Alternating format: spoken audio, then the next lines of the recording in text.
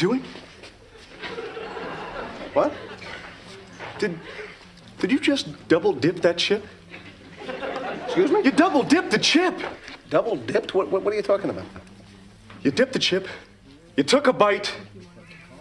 And you dipped again. So? That's like putting your whole mouth right in the dip. Look, from now on, when you take a chip, just take one dip and end it.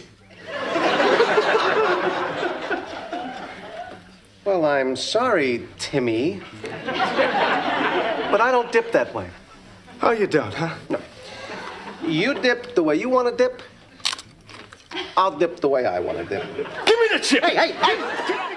You know that moment when you wonder, should I eat some of the stuff from that communal bowl? Or has someone's fingers already been in at this sugar, pepper, or salt?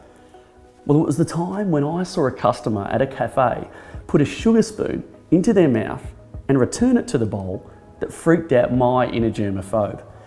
Now, I've worked in hospitality for many years and I've seen enough cafes to know that sugar, salt, and pepper are often left on the tables for anyone to use all day long.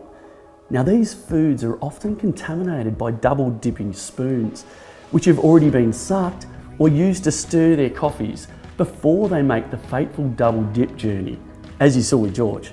The solution to stopping my inner germaphobe freaking out is this amazing product called Splid.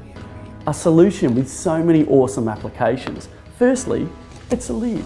And this means that foods such as sugar, salt, pepper, spices, in fact any dry food, it can have a lid on it whilst it sits on the table. Sneezing and talking over them, no problem. The lid is doing its job. Secondly, and this is where this little device is different to anything else in the world, it has a spoon cleverly designed to sit alongside the lid and act as the communal spoon, delivering sugar to the cup. And as it's connected to the lid, people are not naturally inclined to then stir their coffee with it. They'll pick up their provided spoon instead and stir with that, as it should be. And it's this obvious simplicity that makes the Splid, a spoon with a lid, so beautifully unique. Splid is also designed to be used to measure out spice products, as the spoon is a metric teaspoon, so you can store long-term foods such as curries, spices and seeds, then simply unscrew the airtight Splid, use and reseal.